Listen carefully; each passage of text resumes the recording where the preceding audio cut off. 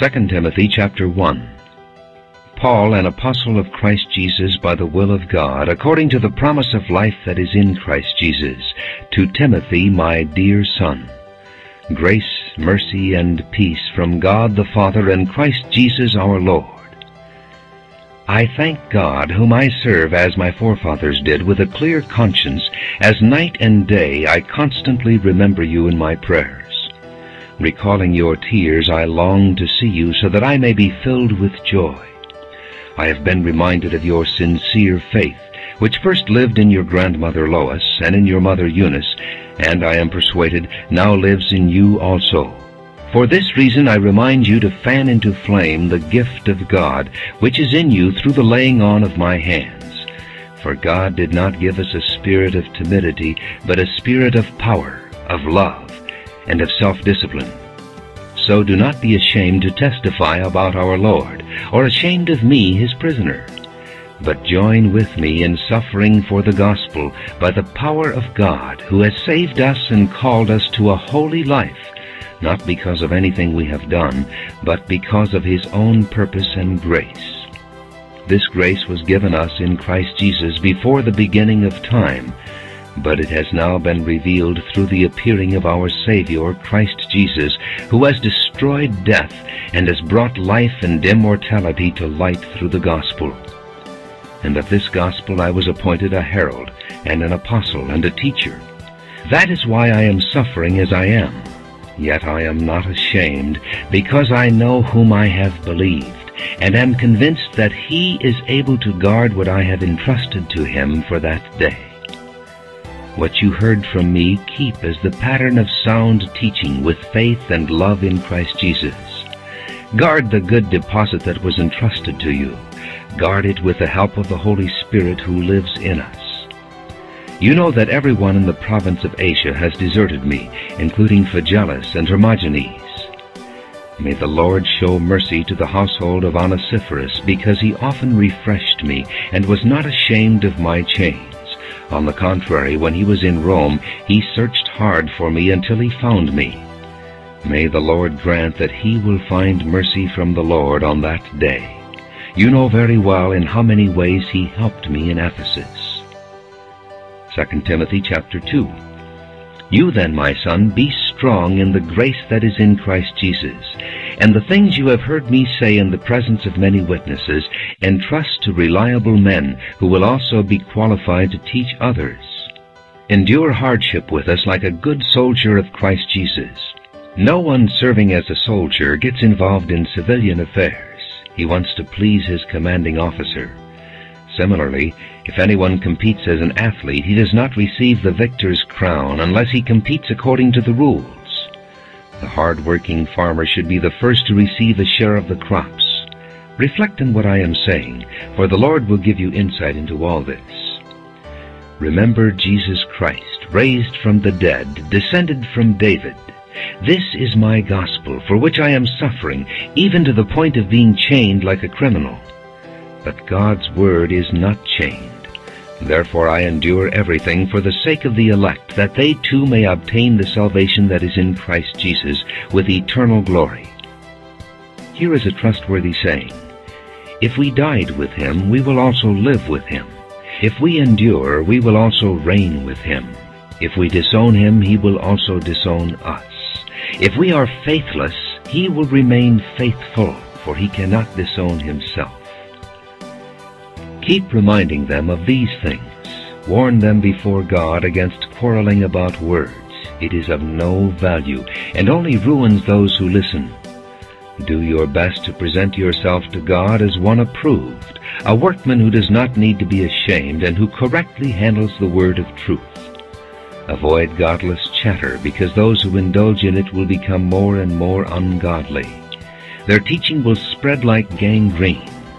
Among them are Hymenaeus and Philetus, who have wandered away from the truth. They say that the resurrection has already taken place, and they destroy the faith of some. Nevertheless, God's solid foundation stands firm, sealed with this inscription, The Lord knows those who are His, and everyone who confesses the name of the Lord must turn away from wickedness. In a large house there are articles not only of gold and silver, but also of wood and clay. Some are for noble purposes, and some for ignoble. If a man cleanses himself from the latter, he will be an instrument for noble purposes, made holy, useful to the master, and prepared to do any good work.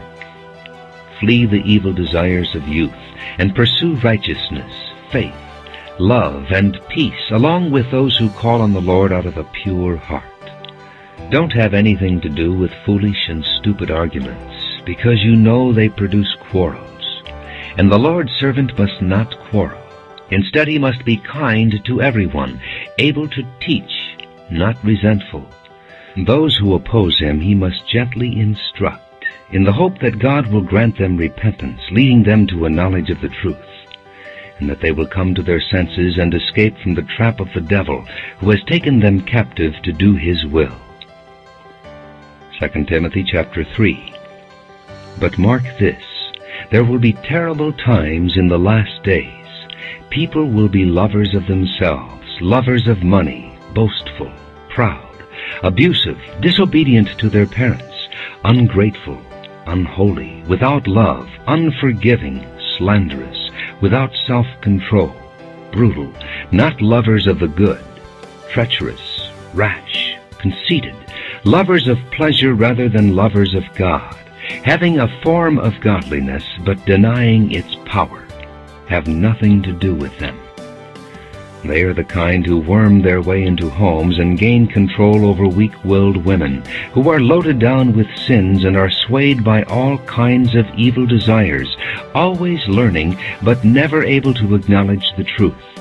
Just as Jannes and Jambres opposed Moses, so also these men oppose the truth men of depraved minds, who as far as the faith is concerned are rejected. But they will not get very far, because as in the case of those men, their folly will be clear to everyone. You, however, know all about my teaching, my way of life, my purpose, faith, patience, love, endurance, persecutions, sufferings, what kinds of things happened to me in Antioch, Iconium, and Lystra, the persecutions I endured. Yet the Lord rescued me from all of them. In fact, everyone who wants to live a godly life in Christ Jesus will be persecuted, while evil men and impostors will go from bad to worse, deceiving and being deceived. But as for you, continue in what you have learned and have become convinced of, because you know those from whom you learned it, and how from infancy you have known the Holy Scriptures, which are able to make you wise for salvation through faith in Christ Jesus. All Scripture is God-breathed, and is useful for teaching, rebuking, correcting, and training in righteousness, so that the man of God may be thoroughly equipped for every good work. 2 Timothy chapter 4. In the presence of God and of Christ Jesus, who will judge the living and the dead, and in view of his appearing and his kingdom, I give you this charge. Preach the word. Be prepared in season and out of season. Correct, rebuke, and encourage with great patience and careful instruction. For the time will come when men will not put up with sound doctrine. Instead, to suit their own desires, they will gather around them a great number of teachers to say what their itching ears want to hear. They will turn their ears away from the truth and turn aside to myths. But you keep your head in all situations, endure hardship, do the work of an evangelist, discharge all the duties of your ministry for I am already being poured out like a drink offering, and the time is come for my departure. I have fought the good fight. I have finished the race. I have kept the faith. Now there is in store for me the crown of righteousness, which the Lord, the righteous judge, will award to me on that day, and not only to me, but also to all who have longed for his appearing. Do your best to come to me quickly, for Demas, because he loved this world, has deserted me and has gone to Thessalonica. Crescens has gone to Galatia, and Titus to Dalmatia. Only Luke is with me. Get Mark and bring him with you, because he is helpful to me in my ministry. I sent Tychicus to Ephesus. When you come, bring the cloak that I left with Carpus at Troas, and my scrolls, especially the parchments. Alexander the metalworker did me a great deal of harm. The Lord will repay him for what he has done. You too should be on your guard against him, because he strongly opposed our message. At my first defense no one came to my support, but every one deserted me. May it not be held against them. But the Lord stood at my side and gave me strength, so that through me the message might be fully proclaimed, and all the Gentiles might hear it. And I was delivered from the lion's mouth. The Lord will rescue me from every evil attack, and will bring me safely to his heavenly kingdom. To him be glory forever and ever. Amen. Greet Priscilla and Aquila, and the household of Onesiphorus. Erastus stayed in Corinth, and I left Trophimus sick in Miletus. Do your best to get here before winter. Eubulus greets you, and so do Pudens, Linus, Claudia, and all the brothers. The Lord be with your spirit. Grace be with you.